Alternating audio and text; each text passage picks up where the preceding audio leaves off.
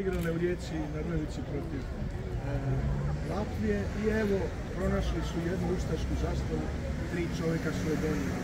Može se očekivati u idućim utakmicama na stadionu, bez gledatelja i tako dalje. Mi se opet vrtimo u krugu sa tim ustaštvom. Ne znam, sad prvi put to čujem od vas. Ja bi to ignorirao. Mislim da je to jedini način. Ali ne znam detalje, što znači, gdje su je pronašli. U publici. Gdje, neko je imao u zapušku smotanu. Da, proširili su zastavu ustaštva. Pa dobro, onda ćemo odgovarati zbog toga. Ti dečki će dobiti vjerojatno spomenicu domovinske neodgovornosti i to je to.